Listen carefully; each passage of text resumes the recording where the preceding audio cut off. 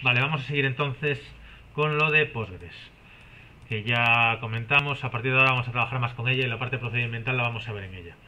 Eh, entonces, si venís a este link, aquí, migración, la migración a Postgres, tenemos aquí el fichero de creación de la misma base de datos empresa, pero ahora en Postgres con las modificaciones que ya hemos visto, la que vimos la otra semana. Eh, algunas consultas, no las hemos rehecho todas, pero era para ejemplificar un poco la problemática que pueda haber. Voy a, abrir, voy a cerrar aquí cosas y abrir eso. Vamos a dejar esto ya. Ya volveremos sobre ella. Que también está... Bueno, me queda pendiente convertir esta Postgres también. Pero yo lo haré yo. Eh, ¿Dónde estoy? Aquí. Los que estuvimos viendo hasta ahora y los que vamos a ver ahora. No, no hay mucha cosa. Cambia en procedimental, sí que cambia bastante, pero. Pero bueno, comentaremos algunas cosas que son distintas y. Y ya. A ver, al final, una vez entiendes los algoritmos y tal, es buscar ejemplos de cómo se hace en el otro caso. Luego en cosas avanzadas, las cosas que vamos a empezar a ver ahora, y alguna, alguna ya hemos visto, que hemos visto que fuese así distinto. El procesado de fechas, el tipo interval, que comenté lo del tipo interval, no sé si os fijasteis en la clase cuando convertimos esto. Eh, vale, me voy a ir a... tengo que... bases de datos... Eh, procedimental, no, procedimental aún no. Eh, consultas, Postgres.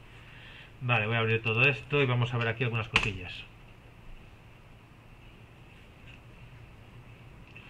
Vale, este es el link que tenéis, es el aula virtual donde os acabo de enseñar, pues eso. Eh, bien. Vale, este es el fichero de creación que ya expliqué cómo habíamos creado. Aquí dejé comentado, bueno, aquí dejé comentadas unas cosillas de cosas que son distintas. La diferencia, Postgres, por ejemplo, no tiene TinyInt, tiene solo Small, Medium y Begin, me parece. Que MySQL sí que lo tiene, una pequeña diferencia. El uso este de Serial, que sí que cambia bastante, que ya, ya probamos lo que pasaba, ¿no? Que MySQL el autoincremento es más sencillo. El autoincremento detecta automáticamente si hacemos un, podemos hacer un insert y además usar el autoincremento. Eso en Postgres sería problemático porque el serial va en orden. Si tú le metes uno a pelo, eh, le va a romper después porque va a intentar meterlo él por su cuenta. ¿Vale? Él mete números en orden y sigue el número en orden. Digamos que si usas un serial, no es como un autoincremento. Si usas un serial, tienes que usarlo siempre. No puedes, como en el autoincremento de MySQL, algunas veces insertarlo tú, otras veces no. ¿Se entiende? Pero normalmente son decisiones de diseño que sigue cada base de datos porque, hombre, no tiene mucho sentido que si tú tienes un autoincremento estés utilizándolo cuando te da la gana. Pero bueno, puede, no sé, no he profundizado en el caso en el que sea útil tienen sentido las dos decisiones, ¿vale? Postgres optó por otra. Y aquí un link a los tipos numéricos, que es donde se explica un poco en la documentación por qué se usa Small Serial.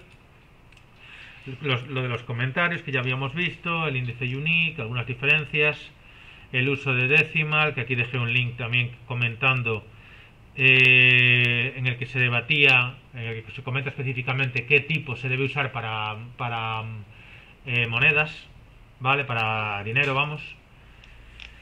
Y lo que habíamos visto que es muy interesante, el tipo interval, ¿vale? Que sí que es verdad que eso había metido el tipo time en MySQL, pero un poco por motivos didácticos para jugar con él. Ya habíamos comentado que no era el ideal. Ahora vamos a trabajar con este. Bien, las consultas las vamos a ver simplemente por encima. Aquí tenéis algunas consultas que ya estaban convertidas. Eh, pero de eso, de hecho, de esto podemos pasar un poco. Voy a abrir las consultas, las viejas de MySQL y vamos a ver qué cosas cambian. Eh, entonces, vuelvo a consultas, perfecto. Voy a las de una tabla y podemos probar a ejecutarlas todas y a ver dónde hay algún problema. Ah, perdón, que sigo en localhost. Bueno, de hecho aquí me falló algo igual. Por algún motivo, este comentario Ah, el update porque ya estaba, nada. Eh, ahora voy a cambiar aquí a Postgres y voy a intentar ejecutar eh, la que ya tenemos, pero espera que no me la quiero cargar, voy a hacer otra copia. Voy a hacer otra copia. Eh, uy. Consultas, empresa, el fichero de creación, no, de creación no, los de consultas estos. Voy a copiarlos y pegarlos en Postgres otra vez. Vale, así. Voy a abrirlos desde ahí mejor. Entonces, file, open, eh, aquí, estos tres. Pero tampoco vamos a profundizar, eh, ver algún ejemplo, pero ya vais a ver que es bastante parecido. Voy a ejecutar todas y ver dónde falla. Para ello selecciono aquí ahora Postgres. Eh, la tabla empresa aún sí ya la tenía creada.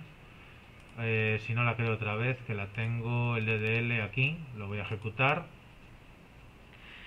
Eh, vale, ya está ejecutada. Voy a minimizo aquí, veo la otra conexión ahora. Refresco y aquí la tenemos el esquema público con todas las tablas. Bien, entonces esto en principio no me haría falta y ahora me vengo a las consultas y vamos a ejecutar todas ellas a ver dónde falla. Eh, vale, ya aquí hay un ah, aquí hay un error interesante, por ejemplo, una diferencia interesante. En esta línea, ¿dónde está? Aquí. No sé si os acordáis de esto, lo vimos hace mucho. Cuando pedía departamento, nombre y salario de todos los empleados de los departamentos 2 y 3. Que se resolvería así o con el IN, ¿no? Lo tenemos claro todos. Vale. Y alguien me había preguntado qué pasaba si se hacía así. ¿Os acordáis qué pasaba en MySQL? Que esto eh, sucedía esto. El 3 se evaluaba como true. Eh, SQL hacía un, cast un casteo automático. Convertía el 3 a... El OR espera que de los dos lados haya operadores booleanos. Esto, como tiene un igual, una comparación, devuelve o true o false, si departamento es igual a 2 o si departamento no es igual a 2. Esto sustituiría por true o por false. Y haría una operación binaria OR con esto que también lo va a convertir a un booleano. Todo lo que no sea 0 lo va a interpretar como true. Entonces, independientemente de si esto es falso, siempre un falso con un verdadero siempre va a ser verdadero, entonces siempre lo iba a devolver. En MySQL esto funcionaba y, nos, y era, por eso era un error muy problemático, porque podías no darte cuenta que eso se te crea en una consulta y funcione. Si os fijáis, una cosa que creo que adecuadamente es eh, que en la que me gusta más el criterio de Postgres es que Postgres da un error. Postgres no te acepta un 3 como true. Te dice, me tienes que meter un boolean. Podrías hacer un casteo, que en, en Postgres típicamente se hacen así, no lo he probado. Si hago esto, a lo mejor sí que funciona. Este es el funcionamiento que MySQL hace sin que le especifiques el casteo. Si tú en Postgres lo haces directamente así, te da error. Te dice, el argumento OR tiene que eh, utilizar un tipo boolean, no un tipo integer. Dice, el 3 es un integer, no te lo voy a pillar como un boolean. Porque igual estás cometiendo un error, que de hecho a esto llegamos porque alguien lo intentó hacer como error. ¿Se entiende? Entonces, pues es una cosa, pues una decisión. Ese tipo de cosas son las que cambian. Este tipo de pijadas, decisiones que en este caso veis que está bastante justificada, ¿no? Entonces toda esta explicación que puse aquí ahora ya no tendría sentido, esta explicación era para MySQL. Pero bueno, eh, da igual porque luego borraré esto, ya tengo ahí un fichero en el que cómo quedó después de hacer modificaciones aquí. Vale, voy a dejar por ejemplo esto así ahora para que os suene ya el tema de los casteos. Que se puede hacer con una función cast también, no, sé, no tengo claro cuál es el estándar. Pero, vale. Ejecuto, entonces ahora pasa del 3, a ver cuál nos falla más. Aquí tenemos otro fallo. Stop, en un update. ¿Por qué? Eso falló antes. ¿Cómo? Estas son las consultas 1 de la que trabajamos todo el trimestre, la de la empresa aquella. No, la base de datos es en Postgres, me la, he cargado en Postgres. Si vienes aquí, lo que os explicaba antes, si venís al enunciado tenéis aquí la migración del empleados examen a Postgres. Ahí tienes el DDL para crearla. Bien, aquí ha fallado este update y me dice el error, la columna PP no existe. Ah, vale, va a haber un problema recurrente. En MySQL, recordáis que en los literales, en los strings, en los varchars, me pillaba tanto las comillas dobles como las simples. Postgres no, y es una de las grandes diferencias. Postgres utiliza para valores las simples y las dobles sí que valen para columnas. Entonces, si le pones dobles va a pensar que es una columna y la va a buscar y te va a dar error. Entonces aquí voy a tener que hacer esto si quiero hacer este insert. Y este cambio va a ser generalizado, lo voy a tener que hacer a menudo. Esto ya nos pasó en el de creación. Eh, vale, entonces ahora ya me ha hecho el insert ese. Y podría seguir, voy a volver a ejecutar todo, a ver dónde para. Eh, stop, eh, update, hay un problema de sintaxis, esto es por el punto y coma, que simplemente algunas se me quedaron sin punto y coma ya en el original y no lo corregí todavía, pero bueno. Eh, sí, que cierre todo.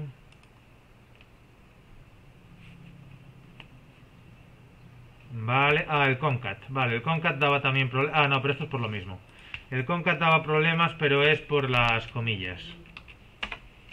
De todos modos, esta así uh, no devuelve nada. Qué raro que no devuelva nada. Esto, bueno, como dice cambios, salarios de... No, sí que tiene que haber salarios entre ahí y ahí. Salario de empleado entre esto... para ejecutar todo, sí, también va a fallar por eso. Si ejecutas en una, eh, no hace falta. O sea, si yo estoy ejecutando. Claro. Claro, claro, pero sí que me falló antes por eso. Eh, quiero ver por qué esto falla. Un momento. Eh, empleados, no me está yendo el control click. Voy a hacer otro refresh. Después del update se debió quedar pillado. No. ya no sé dónde hay que refrescar para que esto funcione. No le da la gana. ¿Qué está pasando? Empleados. Empleados, datos. Salarios, hay aquí salarios variados, pero sí que hay mil y algo, entonces tendría que dar, vamos a averiguar qué está fallando aquí. Desde 1001 no me está devolviendo nada. Nombre, departamento. ¿Y por qué? Eh, me intriga que este control click no me esté funcionando. Estoy viendo Postgres.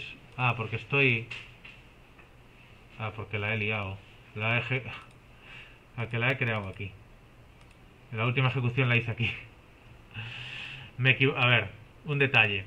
Os comenté ya que eh, Postgres una diferencia importante que tiene es que en MySQL la palabra esquema y la palabra base de datos significa lo mismo. Si venís aquí, veis que dentro de databases tenemos directamente las bases de datos. En Postgres no. En Postgres yo tengo las bases de datos, pero cada base de datos tiene dentro esquemas. Vale, una misma base de datos se puede subdividir, es añadir un nivel más de jerarquía. Entonces, dentro de estos esquemas normalmente vamos, como solo vamos a usar uno, vamos a usar el que crea por defecto, que es public. ¿Qué pasó? Que yo aquí, esta la tenía de antes, de otro día, y el script de creación ahora lo acabo de generar, lo acabo de ejecutar, pero en, dentro de Postgres, de la de configuración. Entonces he metido las tablas dentro de otra base de datos, básicamente. Entonces lo que voy a hacer es cargar otra vez el fichero de creación. Por eso todas las consultas me, me estaban dando vacías. Porque no tengo los inserts hechos. Eh, voy a abrir aquí el DDL. Voy a volver a ejecutar el DDL, pero antes voy a seleccionar aquí donde. Eh, dentro de empresa public. No, sí, ahora estoy en public, eh, el esquema público dentro de la base de datos empresa examen, que es la que quiero. Y ahora si ejecuto aquí, vale, ahora he ejecutado todo. Y ahora puedo refrescar esto fuera. Y ahora puedo refrescar otra vez aquí.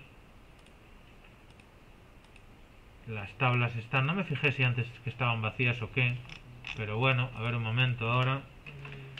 Si voy a empleados sigue sin ir esto sigue sin devolver nada ¿qué estoy haciendo mal? ah vale tengo separado el DDL de creación y el de las filas tengo por aquí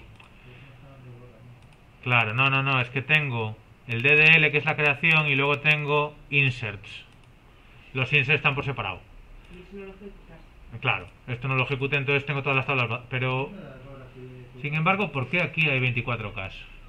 Ah, vale. Ah, no, claro, claro. Me estaba liando. Eh, claro, es que estas barras las pone de manera relativa. Cuando tienes una... Estoy acostumbrado a ver una muy larga porque luego veremos cómo rellenar una con, con miles de filas. Vale, nada, me fallaba eso.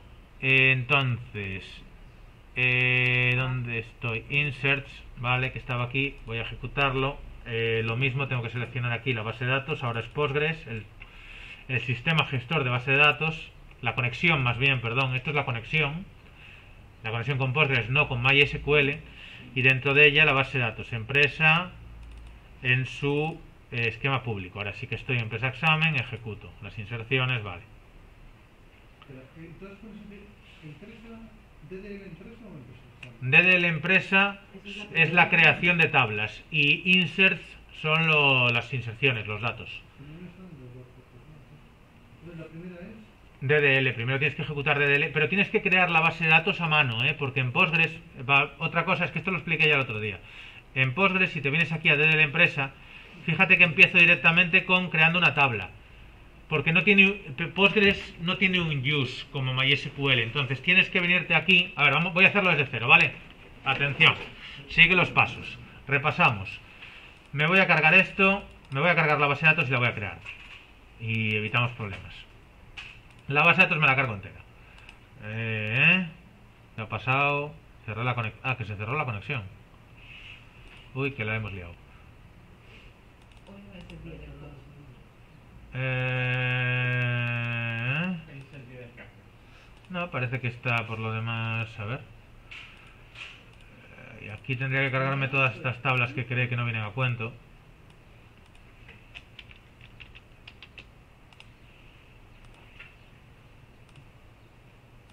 No, a ver, un momento. Vale, ya está eliminado. Y aquí las tablas estas que tampoco pintaban nada, me las voy a cargar otra vez. Aunque para bien tenía que eliminar igual también el tipo y y eso, pero bueno, nada. Bueno, el caso. Tenemos Postgres y la, nuestra base de datos concreta no está ahí. Así que ahora abrimos el DDL primero, que ya no sé si lo cerré o algo. No, está aquí. ¿vale? Yo no puedo ejecutarlo directamente porque no tengo el create database, ¿vale? Entonces lo que hago es crearla a mano. Creo una base de datos, empresa, examen, ¿vale? Eh, y ya está, ¿ok? ¿Vale? Al crearla automáticamente me crea el esquema público, no me voy a rayar más, entonces me vengo aquí y selecciono aquí ya me selecciona Public, Empresa Examen, ¿vale? Dentro de Empresa Examen, el esquema público. Y ahora sí puedo ejecutar el DDL. Lo ejecuto y me creará todas las tablas, las tablas salvo el tema este que ya habíamos visto del enum. El que lo tengo aquí comentado, ¿vale? Voy a crear un tipo también, el tipo sexo, para poder usarlo como enum. Y después lo, lo dejo comentado. Vale. Y ahora vuelvo a ejecutar todo el resto del script. Vale, ya está creada. Vale, refresco aquí. Y ahora tengo yo aquí el esquema público con las tablas, ¿vale? Un tamaño básico. Esto fuera. Ahora me voy a las inserciones. Eh, inserts. Inserts, empresa PSQL. Ejecuto todo. Relleno de datos. Refresco. Y ahora vemos que cambia el tamaño. Ya tengo 56K, tal, ya no tengo solo lo que tenía antes. ¿Vale? Ya las tengo con las inserciones. Cierro esto. Y me voy a venir a la consulta. Bueno, la misma consulta antes a ver si el control click funciona ahora. No. Y lo del error ese, no existe el tipo sexo, esto es un mono, Eh, descomenta. Lo acabo de hacer. Des- Ah,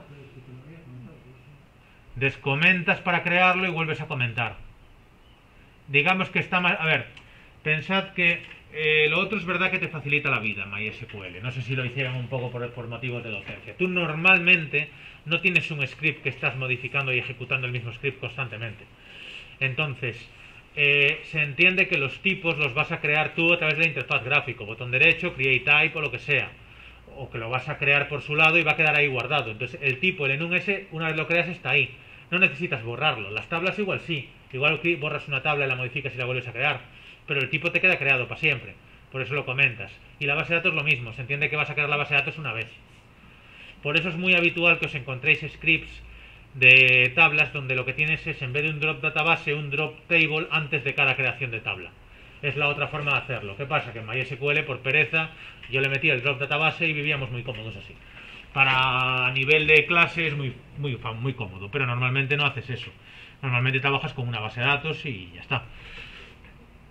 Eh, para desarrollo es verdad que te facilita la vida, pero bueno, es una pijada. El caso, lo que me sigue rayando es que no me vaya el control click es... Ah, vale, Postgres, veis, ahora es que aquí tengo que volver a cambiar y seleccionar la base de datos. Empresa examen, public, y por fin, ahora parece que todo está en su sitio y que tengo datos y demás. Eh, bien, entonces ahora hago el control click y ahora sí tengo resultados, vale, menos mal. Arreglé ya el concat con esto. Y lo que iba a enseñaros es que además de eso, la concatenación de todas maneras en, en Postgres se puede hacer así típicamente. Sin comando. ¿Eh? Sin el comando. Sin, el- sin la función, sí. Con eh, la barra vertical, creo que era. A ver si no me estoy colando. Que si mal no... re- eh, columna apellidos. Y no, espera, se me ha colado algo. No era así. ¿Eh, ¿No era así? Sí que era así. Ah, vale, coño, aquí tengo que meter algo, claro, con lo que concatenar. Así. Vale, esto digamos que es el operador de concatenación, es como el más en Java para strings, ¿vale? Y me parece que esto era más estándar, si mal no recuerdo. Postgres en general se parece más a Oracle, que es una de las que más se usan, es uno de los intereses también que tiene a nivel de su dialecto. También os digo, este tipo de pijadas, ¿cómo se buscan? Lo comenté en el otro vídeo que grabé cuando empezamos con esto. Lo típico es que si tú tienes un pro- problema, oye, no me va bien, hago concat psql. Eh, bueno, aquí sale- en este caso sí sale la función. Si fuera algo, pero si buscas algo que está en MySQL y le pones al lado Postgres o PSQL o PostgreSQL, ya hay un montón de sitios y foros donde te dicen cómo se hace tal cosa que llevo usando toda mi vida MySQL ahora que trabajo en Postgres. Y ya te lo explican, ¿vale? El día a día de esto es así. Migrar entre bases de datos normalmente es muy habitual y se hace bastante simple así. Lo ideal es usar las opciones más conservadoras y más cercanas al estándar para facilitar posibles procesos de migración en el futuro. Pero bueno. Entonces, a mí me suena que leí por ahí que esta era la más estándar, pero no, no me hagáis mucho caso. En general las funciones no suelen serlo, porque las funciones siempre son un añadido eh, que no es el SQL más eso, más estándar. Pero bueno, creo que están reguladas los últimos estándares igualmente muchas funciones. Bueno, seguimos. Vamos a ver algún otro ejemplo. ¿Alguna otra que falle por ahí? Serán más cosas de comillas. Aquí tenemos el format. Como veis son las cosas como muy específicas. La mayor parte de consultas funcionan totalmente igual. Ya vamos por la 110, ¿no? El, tema de formatear, ¿vale? Esto, no, mm, bueno, podemos probar a hacer cómo sería una búsqueda. Format, aparte esto es eh, para un salario. Format, podríamos decir currency en Postgres. PostgreSQL. Por ejemplo, no números como moneda, sino también nos habla aquí de tipos monetarios. Eh, Stack Overflow, cómo formatear dinero en Postgres. En la documentación tip- hay un tipo específico money. Aquí tenemos como que alguien lo había comentado en el otro grupo, eh, que en SQL Server hay un tipo money, aquí también lo hay. De todas maneras, yo por lo que leí por ahí, se recomendaba usar numeric. Y de hecho aquí fijaos que hace unos casteos muy curiosos. Ahora no me voy a parar a leer todo esto, pero en general se suele recomendar el usar numeric, eh, que, va a ser que va a ser más estándar además. Pero se podría utilizar esto también, ¿vale? Es verdad que además Money eh, tiene un cierto... permite también formatear poniendo directamente el carácter de la moneda que estás usando, pero puede tener problemas porque ese carácter va a estar vinculado a la configuración local que tengas. Así tú tienes el equipo configurado en un idioma en otro, o configurado que estás en España o estás en otro país. Puede ser problemático, lo estás dejando más a configuración de sistema. ¿Vale? Entonces tienes que meterte en cuestiones de administración si quieres trabajar con él. Para curarte en salud, si tú pones numeric, te va a funcionar aquí, vas a ir a Estados Unidos y vas a poder seguir trabajando con euros. Entonces depende del caso. Yo de primeras, al nivel que estamos dando aquí, seguiría con numeric. Y para meterme a Money lo haría cuando, cuando sepa lo que estoy haciendo, de verdad, y tengáis unos más conocimientos de administración. Pero sabéis, es interesante saber que existe. Aquí habla de castear. Un casteo sí que se puede hacer. Podríamos probar un casteo. Ah, vale, lo he dicho muy... ¿No sabéis lo que es un casteo? Eh, ah, tú no, tú no es programación, claro. Los de programación sí, ¿no? El resto lo habéis visto ya. Eh, castear es convertir entre tipos. A ver, castear es... vamos a ver, si yo tengo, si tú tienes esto, eh, un- esto, esto realmente es un string, ¿no? Es un string 12, que se codifica como dos caracteres, cada uno con su código ASCII, y si yo lo quiero, si yo lo leyese directamente eh, en, en binario de memoria, no leería un 12, porque el, equivalente en número va a ser algo, bueno, muy superior, ya para empezar, porque son muchos más bytes. Castear es convertir entre tipos. Castear es el proceso en el que yo le digo esto de aquí, por ejemplo, select, si hago select 12 sin más, me devuelve un 12. Aquí lo que pasa, bueno, claro, aquí no puedo ver el tipo. Eh, claro, aquí tampoco arreglo mucho. Castear podría hacer, hacer esto. Eh, bueno, es lo que hicimos antes con lo de Boolean. Es lo mismo. Sí, pero... yo vi los puntitos y digo, yo sé, yo lo que está haciendo los puntitos. es convertir entre tipos. Bueno, de hecho, fíjate que hay una diferencia. Si hago esto, me lo pone al principio. ¿Por qué me lo pone? Es como en Excel. La- el, el texto empieza por, el, por la izquierda. Si lo pongo así, me lo convierte a número. Uy. ¿Qué he hecho? Quieto. Y al convertirme a número se va a la derecha. ¿eh? Re- Reconoce que es un número. Un casteo es convertir tipos. Siempre en, en general. Vale. Eh, se puede hacer también con la función que creo que esta está en MySQL, es como se hace en MySQL y creo que funciona, esto funcionaría en las dos, me parece. As_int. Que por cierto, esto os va a interesar para lo que os pedí que mirarais, lo de la 145 esta. Que la una de las soluciones que doy es para Postgres, no es para MySQL. Ahora ya que ya conocéis las dos podéis probar. La tengo con casteos. Si, si lo hacéis así, creo que os valdrán las dos, ¿vale? Si os acordáis probarlo y lo miramos la semana que viene cuando lo corrija, le echáis un ojo, lo de la 145, ¿vale? De hecho, llegaremos a, bueno, llegaremos a ello ahora de todas maneras. Vale, así también funciona. Con la función cast la tienen los dos. Eh, entonces, esto lo estaba diciendo porque estábamos aquí con format y ah, decía lo de castear dinero. Pro- vamos a probar eso. Voy a coger la media de dinero y en vez de formatearlo lo que voy a hacer es hacerle un cast as money. De hecho ahí recomienda esta notación. No sé cuál es mejor. ¿eh? Habría que buscar cuál es más estándar. Sí, mira, ya me la convierte a euros automáticamente. Muy cómodo. Pero fijaos que no la estoy almacenando como dinero, la estoy mostrando. Vale, la almaceno como numéric. Por lo que comentaba antes de los locales. Podría usarse dinero, money perfectamente, ¿vale? Solo eso, os aviso de que el día que la uséis tengáis cuidado con el tema, con cuestiones de configuración que puedan pasar cosas raras. Es simplemente el tipo al que lo conviertes. Claro, en ese caso el as forma parte de la notación extraña que recibe la función cast, que la verdad es que es rara, ¿eh? Es- usar ese as ahí dentro es curioso. Pero sí, porque es como un solo parámetro. Porque y- antes pusiste as in y ahora as money y lo está mostrando como dinero y no le está cambiando. Claro, lo di por hecho, lo estoy dando- ya como ya lo tengo muy visto no me doy cuenta. Vosotros por eso insisto en que preguntéis sin miedo. Pero al ponerlo como numéric, o sea, tú aquí pones mil de salario Sí. como numéric. En Ah, que debería mostrarse dólares ya. No es lo mismo. No, no sé si me explico. O sea, tú aquí Claro. te lo pone en euros. No, pero ojo, pero claro, pero vamos a ver, la base de datos lo que no tiene por dentro es un conversor de divisas automáticamente. Ya, Entonces, ya, ya, pero- tiene un número, lo que le estás diciendo es que te lo formatee como dinero. Y entonces le añade los euros al final. La cuestión es, ¿por qué te añade euros y no dólares? Porque detecta que tengo la configuración o... Claro. ¿Qué pasa? Que eso es problemático, es el tema de los caracteres, lo que os dije. Simplemente no os digo que no lo uséis, os digo que tengáis mucho cuidado. Y de hecho, incluso recuerdo que cuando llegué aquí estuve buscando información sobre ese tipo, en Stack Overflow y tal, mucha gente insistía.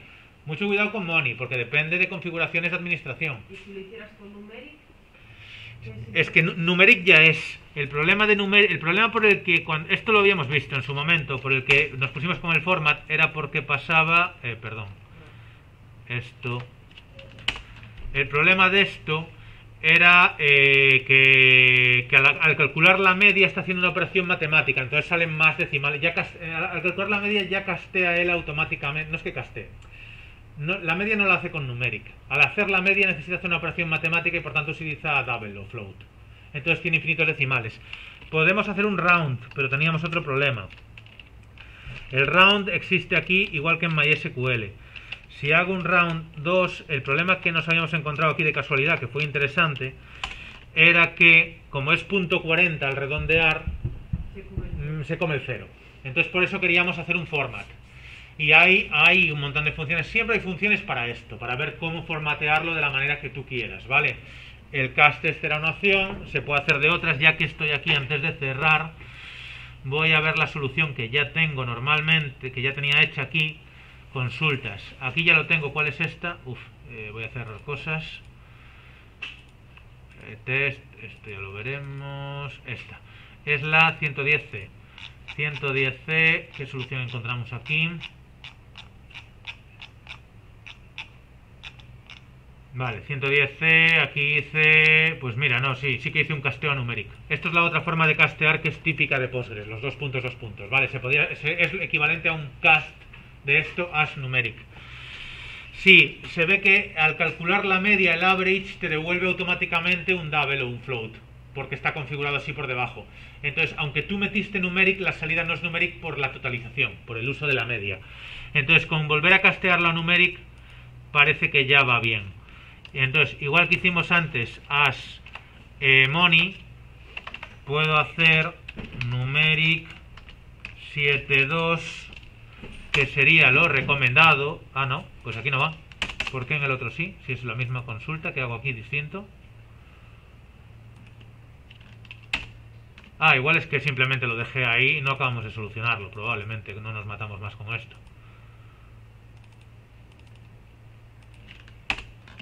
Sí, no, no, es que no lo... Claro, vimos que esto no funcionaba y me quedó así. Eh, con Money podríamos arreglarlo. Tened en cuenta que esto no es tan problemático, porque esto es solamente en el momento de mostrar. Si me salen dólares ahí, simplemente le llamará la atención a alguien, pero evidentemente no está haciendo una conversión, así que el número es correcto igual. Lo único que tenemos ahí ya sí que sabemos es buscar esa solución. El problema es cuando ya estás operando y lo estás almacenando, dependiendo de eso, quizás. Vale. Pero bueno, que tampoco tendría por qué. Pero, pero si no, pues hay funciones para dar el formato como tú quieres en concreto. Sería cuestión de buscarlas. Sé que algunas las habíamos probado, pero no vamos a profundizar en ello. No os voy a pedir consultas en Postgres, ¿vale? El examen de consulta está hecho. Vamos a trabajar en Postgres ahora. Esto que suene para saber buscar una solución. Si queréis intentar echar un ojo. Bueno, ahora ya que estamos lo miraré y buscaré una solución para explicarla y comentar lo que quede, pero evidentemente no vamos a ver todas las posibles funciones que hay en Postgres porque es infinito. Lo que tenéis que saber consultar la documentación y buscar soluciones. Ok, venga, quedam- lo, lo dejamos ahí.